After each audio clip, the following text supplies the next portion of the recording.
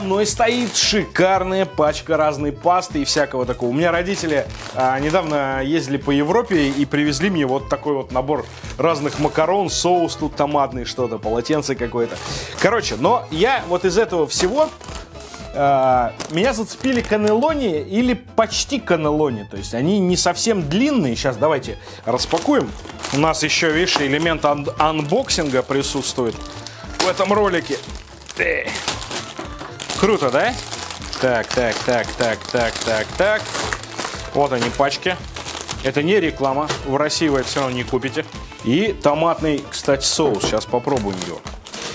В общем, я вот эти штучки э, обратил внимание, но они похожи на канелони, но мне кажется, они по-другому называются, потому что канелони, они длинные. В любом случае, я буду их называть канелони, потому что мне так удобнее. И блюдо, которое мы сегодня приготовим, будем, будет э, с этими полыми трубочками. Production Lotto номер Lot and Production. Что это? Сделано в Италии. Я не понимаю, как, как это называется. Короче, вот здесь вот слово написано, оно явно не канелони. Как его прочитать правильно, я не знаю. Не знаю итальянский. Ну, в общем, сам факт, что сегодня я хочу приготовить полые трубочки. А канелони у нас сейчас в магазинах купить не проблема. Они такие же, только подлиннее и начинить всякой вкуснятиной. А начинять я буду сегодня э, тоже фантазийно из того, что у меня есть в холодильнике. Назову я это блюдо пиццалони, например. Ну, что-то типа такого. В общем, сделаем начинку в стиле пиццы. Всякое там мясное, соус, сыр. И начиним эти трубочки. И попробуем запечь. У меня здесь всякая колбасная ассорти, ветчиночка, колбаса сырокопченая, а, и сейчас, учитывая, что мы будем наполнять не самые крупные предметы в мире начинкой, я буду их нарезать, все продукты, которые будут внутри, я буду нарезать максимально мелко. То есть практически вот в крошку, в труху.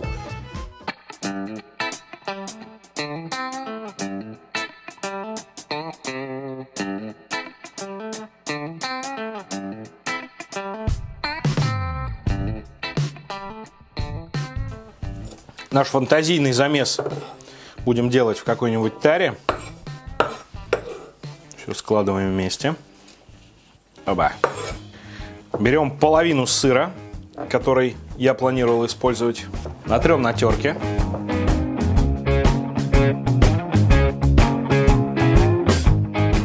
И тоже к замесику его. Так.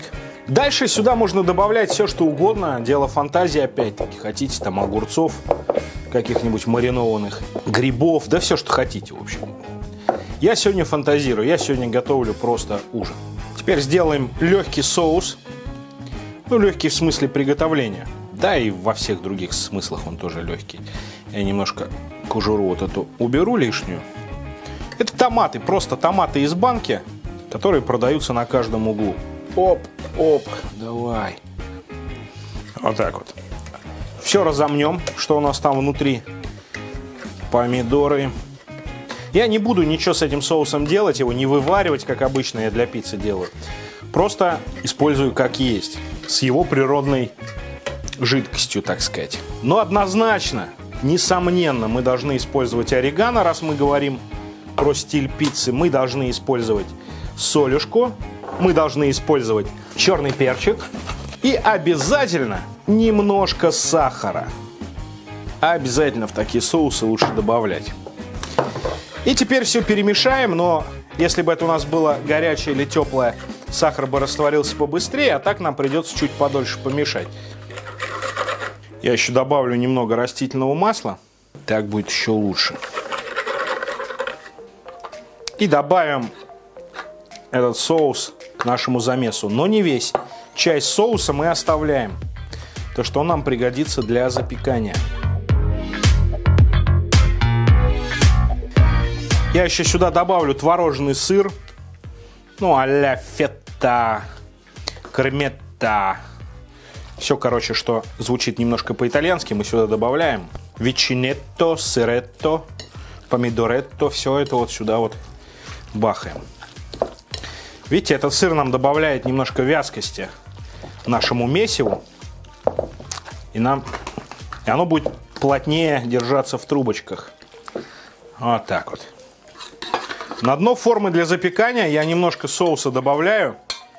Он будет парить и, так сказать, варить макароны. Теперь задача у нас довольно сложная, серьезно. Нам надо все эти макароны начинить хорошенько начинкой. Это запихивание проблематично. Будем стоя запекать нестандартно.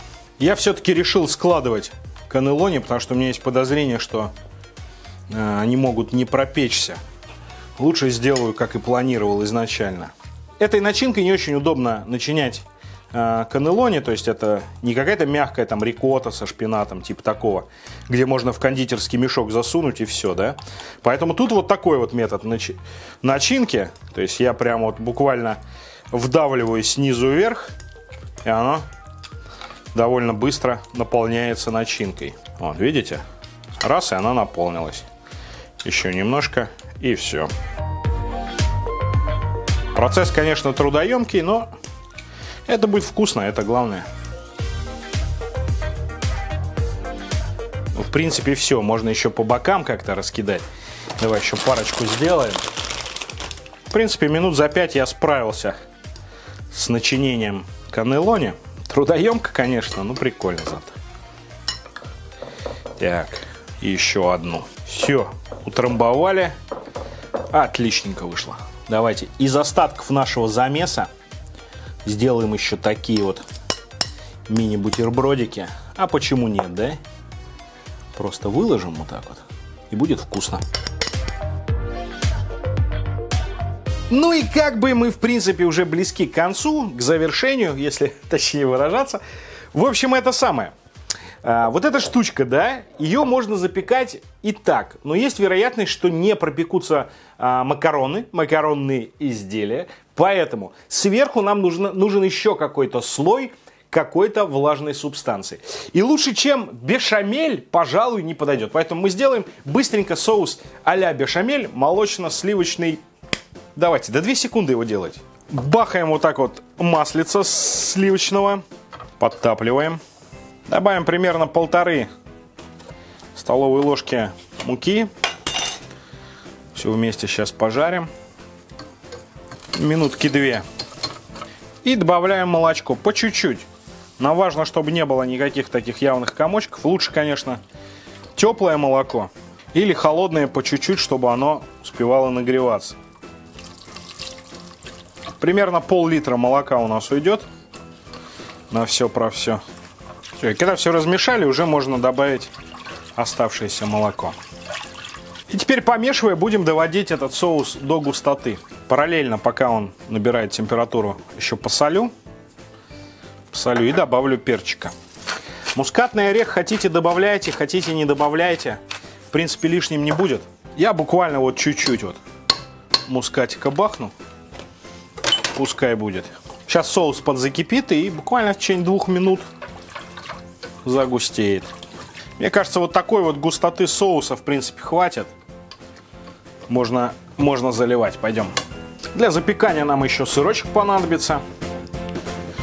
Сыр вообще всему голова. Я думаю, хватит. Вау! распределим соус.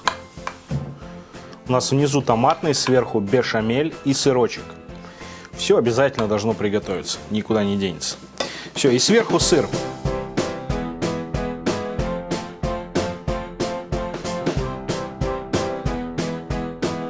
Отправляем в духовку 180 градусов полчасика.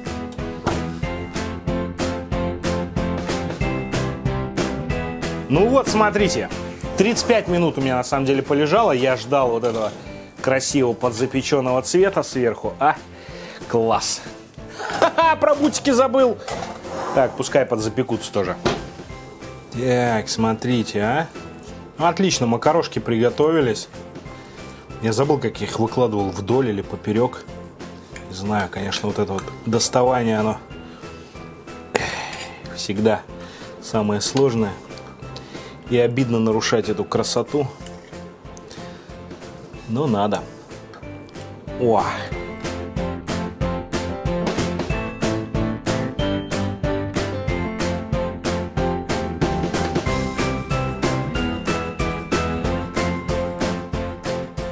Ну что, ребята, пицца... Блин, название, в общем, неправильное у меня. Пробуем. Пробуем, что получилось. Ну, я первый раз такого намесил, честно. Обычно там с фаршем что-то такое. Болоньезе.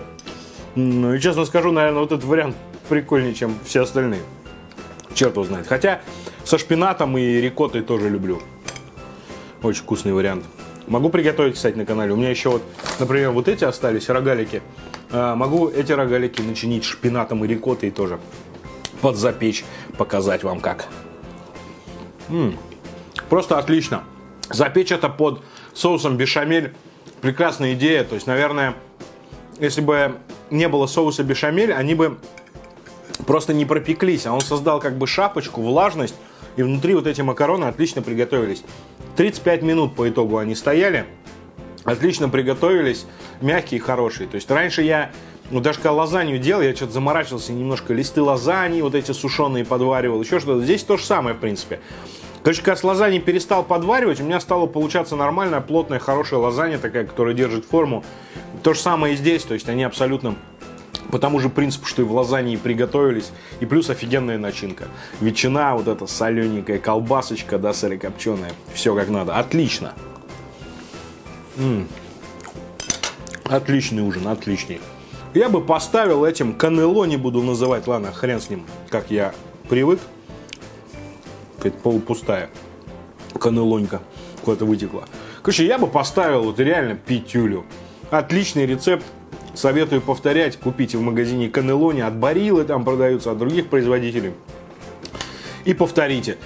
Вкус такой, типа, ну, похож на пиццу, то есть, э, ну, классическая ветчина, томатный соус, то есть вот это все хорошо, орегано чувствуется. Кстати, мускатик отлично чувствуется э, из соуса бешамель.